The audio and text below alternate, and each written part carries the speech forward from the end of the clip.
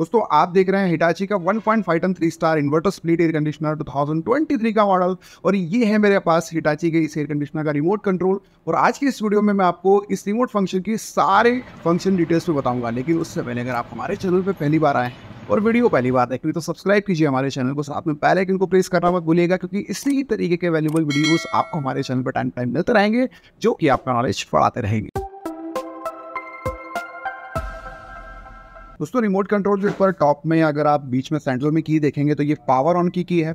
जैसे आप इसे प्रेस करते हैं तो नॉर्मली जब कभी भी फ़र्स्ट टाइम आप एयर कंडीशनर को रन करते हैं तो तीन मिनट का एक प्रोसेस टाइम लगता है, क्योंकि कंप्रेसर में टाइम डिले की सेटिंग होती है।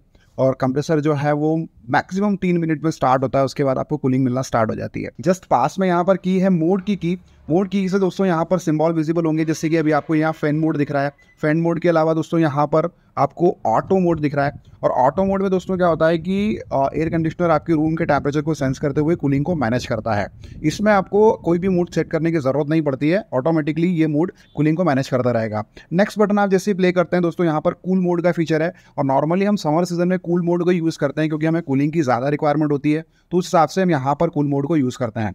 इसके अलावा दोस्तों यहाँ पर ड्राई मोड का फीचर है। खासकर ये फीचर जो है, वो मानसून में यूज़ किया जाता है, यानी कि बारिश के मौसम में।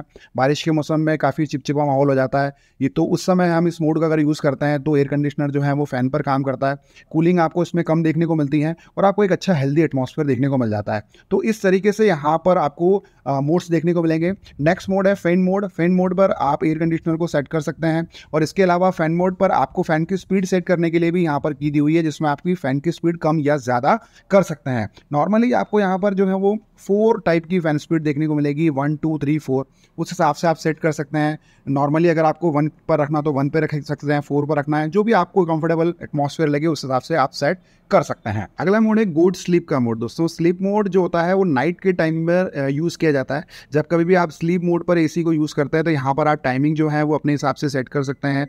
आपको जो भी टाइमिंग सेट करना है उसके हिसाब से आप कर पाएँगे। अभी फ़िलहाल तो यहाँ पर जो है, वो टेम्परेचर की प्रेस हो गई है। लेकिन अगर आप जब कभी भी स्लीप मोड पर प्रेस करेंगे तो यहाँ पर आवरली आप जो है वो स्लीप मोड की टाइमिंग सेट कर सकते हैं। मैक्सिमम यहाँ पर जो टाइमिंग दी हुई है वो सेवन आवर्स एट आवर्स तक की दी हुई है। और रात के समय दोस्तों वैसे भी जनरली हम जो है वो आठ घंटे ही सोते हैं। तो आठ घंटे पर अगर आप टाइम सेट कर देंगे और जो भी टेम्परेचर का सेट करना चाहते हैं, जैसे कि रात के समय अगर आपने मान के चलें कि ट्वेंटी डिग्री पर भी टेम्परेचर सेट कर दिया है। और स्लीप प्रोफ़ाइल पर आपने एसी को सेट कर दिया है तो ग्रेजुअली रात में जो टेम्परेचर होता है, वो इंक्रीज़ होता जाता है। जब कभी हम सोते हैं तो उस समय हमें कूलिंग की ज़्यादा रिक्वायरमेंट होती है। जैसे जैसे रात हो जाती है तो मिड नाइट में टेम्परेचर डाउन होता है और अर्ली मॉर्निंग तो वो डाउन हो जाता है। तो उस हिसाब से एसी जो है, वो मैक्सिमम तीन डिग्री टेम्परेचर को इंक्रीज़ करता है रात के समय में। हर एक एसी में ये प्रोग्रामिंग अलग अलग होती है। किसी में एक घंटे में टेम्परेचर इंक्रीज़ होता है, किसी मॉडल में आपको दो घंटे में भी टेम्परेचर इंक्रीज़ होने को देखने को मिलेगा। तो ये brand to brand different depend करता है कि आपको उसके अंदर क्या सेटिंग दी हुई है। उस हिसाब से स्लीप मोड का फीचर काम करेगा और स्लीप मोड के फीचर को आप यूज़ करके अच्छी खासी पावर सेविंग भी कर सकते हैं। लेकिन अगर आपको ज़्यादा कूलिंग की रिक्वायरमेंट है तो आप पावरफुल मोड का फीचर भी यूज़ कर सकते हैं। इस इस मोड पे जब कभी भी आप एसी को प्रेस करेंगे तो दोस्तों एसी का जो कंप्रेसर है, वो अपने मैक्सिमम वाटेज पर काम करेगा। फ़ैन स्पीड जो है, वो बढ़ जाएगी और एसी आपको जो है, वो नॉर्मली बहुत अच्छी कूलिंग देना शुरू कर देगा। अब बात करते हैं माई मोड फ़ंक्शन के बारे में। दोस्तों माई मोड के की को यूज़ करके आप अपने पर्सनलाइज कोई भी मोड को सेट कर सकते हैं। मैक्सिमम आपको तीन मोड यहाँ पर सेलेक्ट करने का ऑप्शन मिलता है। My mode one my mode two और माई मोड थ्री आपको इस फ़ंक्शन को ऑन करने के लिए माई मोड बटन को कंटिन्यूसली पाँच सेकंड के लिए प्रेस कर रहा है। उसके बाद एक एलसीडी ब्लिंक होगी और आपको वन टू थ्री यहाँ पर तीन अलग अलग मोड जो हैं, वो विजिबल होंगे और इसका जो भी आइकन है, वो भी आपको रिमोट कंट्रोल के एलसीडी डिस्प्ले पर विजिबल होगा।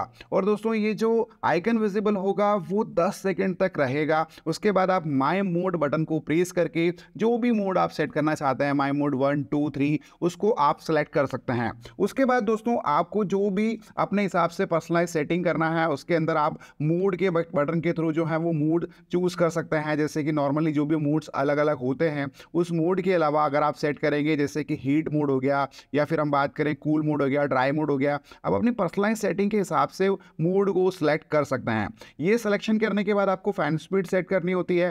फ़ैन स्पीड जो भी आप रखना चाहते हैं, उसके हिसाब से आप सेट कर सकते हैं। उसके बाद दोस्तों, आपको डिज़ायर टेम्परेचर सेट करना होता है प्लस माइनस की की, के थ्रू टेम्परेचर प्लस माइनस करके आप जो भी टेम्परेचर अपने मोड के अंदर रखना चाहते हैं, उसके हिसाब से सेलेक्ट कर सकते हैं। उसके बाद साइलेंट मोड सेक्शन को भी आपको सेलेक्ट करना होता है। सपोज़ अगर आप चाहते हैं कि जो ब्लोर है वो साइलेंट रहे तो फिर आप वो भी ऑप्शन को चूज़ कर सकते हैं। डिपेंड करता है आपके ऊपर आपको क्या सेटिंग करना है।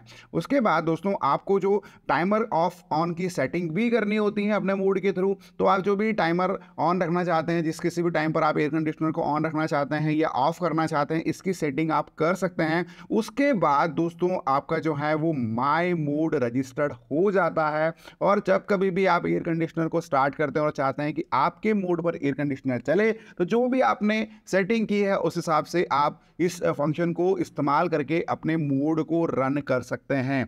तो सिंपल सी प्रोसेस दोस्तों आपको स्टेप बाय स्टेप फॉलो करनी है। उसके हिसाब से आप मैक्सिमम तीन मोड सेट कर पाएँगे, क्योंकि अलग अलग मेंबर घर में होते हैं, हर कोई मेंबर चाहता है कि उसके हिसाब से सेटिंग अलग अलग हो तो अपने हिसाब से आप माई मोड के फ़ंक्शन को सेट करके ये सारी चीज़ें जो हैं अपने हिसाब से मैनेज कर सकते हैं। दोस्तों, वैसे मैं आपको हिटाची एयर कंडीशनर की रिमोट कंट्रोल की जो भी फ़ंक्शन है, उसकी एक प्रॉपर पीडीएफ की लिंक जो है, वो मैं डिस्क्रिप्शन बॉक्स में आपको दे दूँगा। वहाँ पर एक स्टेप बाय स्टेप जो है, वो सारी प्रोसेस दी हुई है, उसको आप फॉलो करके जो है वो हर एक एयर कंडीशनर के फ़ंक्शन को डिटेल में और समझ सकते हैं, अगर आपको कुछ कंफ्यूजन रहती है तो। सेंटर में की दी हुई दोस्तों टेम्परेचर की, जिससे आप टेम्परेचर प्लस माइनस कर सकते हैं। अगर आप माइनस करेंगे तो टेम्परेचर जो है वो डिग्री स्टैंड में चला जाता है, और अगर आप प्लस करेंगे तो टेम्परेचर आप इंक्रीज कर सकते हैं, जैसे कि अभी आप रिमोट के डिस्प्ले पर देख भी पा रहे हैं। इसके पास में दोस्तों जस्ट बटन दिया हुआ है फ्रॉस्ट वॉश का। और ये जो फीचर है, वो काफ़ी उपयोगी फीचर है, खास करके जो एयर कंडीशनर के इंडोर यूनिट में कूलिंग कॉल्स आपको देखने को मिलती है। अगर आप उसे क्लीन करना चाहते हैं तो आप उसे एक से डेढ़ महीने में एक बार यूज़ कर सकते हैं। इस प्रोग्राम को जैसे आप सेलेक्ट करेंगे तो एसी अपने सारे ऑपरेशन बंद कर देगा। और कुछ समय के लिए, जो भी सडन ऑफ़ टाइम रहता है, किसी किसी ब्रांड में 90 मिनट्स होते हैं, किसी में 60 मिनट्स होता है तो जो भी प्रोसेस हिटाची के एयर कंडीशनर में होगी, उसकी डिटेल्स मैं आपको आपको स्क्रीन पर अवेलेबल करा दूँगा, उस हिसाब से आप चेकआउट कर सकते हैं। इस फीचर को जैसे आप प्रेस करेंगे तो दोस्तों एयर कंडीशनर के इंडोर यूनिट पर तीन प्रोसेस चलेगी, जिसमें एक आइस जो है वो फ्रीज हो जाएगी। उसके बाद आइस फ्रीज होने के बाद दोस्तों, जो इंडोर यूनिट पर जितनी भी मेल्ट है या डस्ट है, वो प्रॉपर तरीके से गलेगी। उसके बाद दोस्तों ड्रेन पाइप के थ्रू जो है वो इंडोर यूनिट की कूलिंग कॉल्स को पूरा क्लीन किया जाएगा वाटर से और ड्रेन पाइप के थ्रू दोस्तों, जो भी वेस्ट मटेरियल है या पानी है, गंदा पानी है, वो बाहर हो जाएगा और आपकी इंडोर यूनिट की कूलिंग कॉल्स जो है वो प्रॉपर क्लीन हो जाएगी। नेक्स्ट बटन की बात करें तो दोस्तों यहाँ पर जस्ट साइलेंट का बटन दिया हुआ है। इसे अगर आप जैसे ही प्रेस करेंगे तो फ़ैन की स्पीड जो है वो काफ़ी कम हो जाती है और आपको एक प्लीजेंट एटमॉस्फेयर का फीलिंग आती है क्योंकि काफ़ी कम नॉइज़ आपको इस साइलेंट ऑप्शन से देखने को मिलता है। नॉर्मली अगर आपको ये फीचर जो है तब यूज़ करना चाहिए जब आपको कूलिंग की काफ़ी कम रिक्वायरमेंट है। नेक्स्ट की बात करें दोस्तों, यहाँ पर ऑफ़ टाइमर और ऑन टाइमर दोनों का फीचर दिया हुआ है।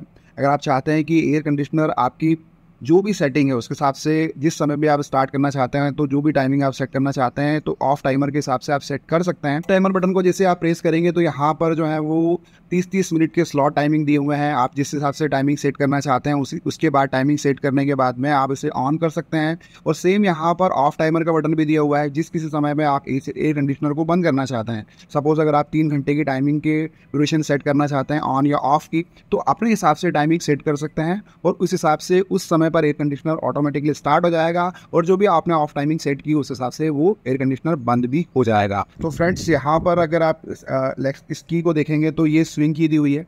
इसको जैसे अगर आप प्रेस करते हैं तो इस एयर कंडीशनर के अंदर आपको अप एंड डाउन स्विंग का मूवमेंट देखने को मिलता है। जैसे आप प्रेस करेंगे तो अभी आप देख सकते हैं कि डोर यूनिट का जो डिस्प्ले है, वो जिसका जो फ्लिप कवर है, वो एयर को अप एंड डाउन रोटेट करना स्टार्ट कर देगा। नॉर्मली आप इसको आपको इसके प्रेस करना होता है तो अप एंड डाउन आपको कूलिंग मिलना यहाँ पर स्टार्ट हो जाती है। तो आप अगर अप एंड डाउन कूलिंग चाहते हैं तो इस फीचर को यूज़ करके आप बिल्कुल कूलिंग दे सकते हैं। जस्ट नीचे की ओर डाउन में आपको एक एम्बियंस लाइट का बटन देखने को मिलेगा। आप उसे जैसे ही प्रेस करेंगे दोस्तों तो यहाँ पर आपको एम्बियंस लाइट जो है, उसे ऑन ऑफ़ कर सकते हैं। नॉर्मली एम्बियंस लाइट जो है, वो टेम्परेचर के हिसाब से अपने कलर को चेंज करती है। तो उस हिसाब से अगर आप चाहते हैं कि अगर आप डिस्टर्ब हो रहे हैं तो इस लाइट्स को आप बंद भी कर सकते हैं और आपके ऊपर डिपेंड करता है कि अगर आप चालू करना चाहते हैं तो आप इससे दोबारा चालू और बंद दोनों कर सकते हैं इस फीचर के थ्रू इसके जस्ट लास्ट में यहाँ पर इको मोड का फीचर है और ये फीचर एक तरह का पावर सेविंग फीचर है। अगर आप चाहते हैं कि एयर कंडीशनर भी चले और आपकी अच्छी खासी पावर सेविंग हो तो आप इस फीचर को यूज़ कर सकते हैं और खासकर इस फीचर को आप नाइट के टाइम में अगर यूज़ करेंगे तो आपके लिए फीचर काफ़ी बेनिफिशियल रहेगा, क्योंकि आपको एक कंफर्टेबल इन्वायरमेंट तो मिलेगा ही मिलेगा और साथ में आप अच्छी खासी पावर सेविंग भी कर पाएँगे। तो दोस्तों, ये रही कंप्लीट इन्फॉर्मेशन हिटाची के 1.5 ton three star inverter split air conditioner के रिमोट फ़ंक्शन के बारे में। उम्मीद है दोस्तों, इस वीडियो को देखने के बाद आपके सारे डाउट ज़रूर क्लियर हुए होंगे और आपको ज़रूर समझ में आया होगा कि हिटाची के इस एयर कंडीशनर की रिमोट कंट्रोल को आपको कैसे यूज़ करना है। अगर आपको ये वीडियो जरा सा अच्छा लगा हो तो प्लीज़ इस वीडियो को ज़्यादा से ज़्यादा अपने फैमिली फ्रेंड्स में ज़रूर शेयर कीजिए। और अगर आपके कोई सवाल है तो प्लीज़ कमेंट कीजिए, आपके सवाल का रिप्लाई आपको हमारी ओर मिल जाएगा। दोस्तों, आज की वीडियो में इतना ही। मिलता है बहुत जल्द एक न्यू वीडियो में। तब तक के लिए जय हिंद, वंदे माता